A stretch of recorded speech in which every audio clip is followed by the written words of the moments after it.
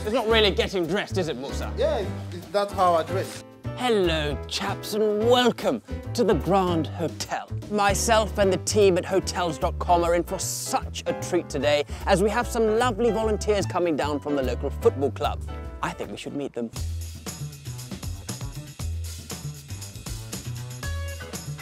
First up, the oh the coach is about to leave and you haven't packed your bag yet challenge. And they're off. One like the wind. Go, Sissoko, go! Ready, ready. Ready to go.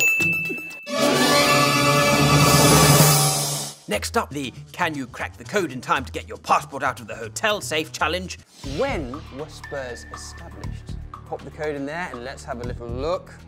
Correct answer. Correct answer. What year was Harry Kane born? Old Haslington.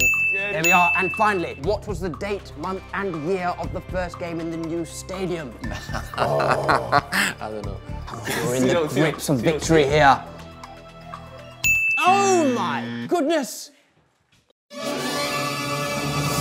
It is all to play for in our final challenge. Oh goodness, I must cram on my clothes because I've overpacked. Challenge. So, gentlemen, on the sound of my bell, you may commence in three, two, one.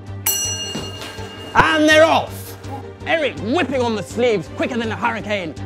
Jan whipping on another jacket, but what about the trousers? I'm going to bash my bell. Two, one, and stop! Gentlemen, let me observe you all. We count. I shall do the counting, gentlemen. One, and two, thirteen, twenty. I said One! 21! Twenty-one! I said one! One. Eight, nine, seven. No! Nine, nine. Eight, No, eight, I promise, nine. Thirteen. How is that dress? That's on his head. Fourteen. That's the rule. Fashion is subjective. 16?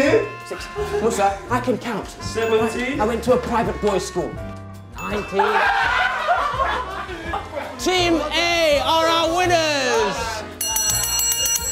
Oh, goodness. Someone going to clean that up.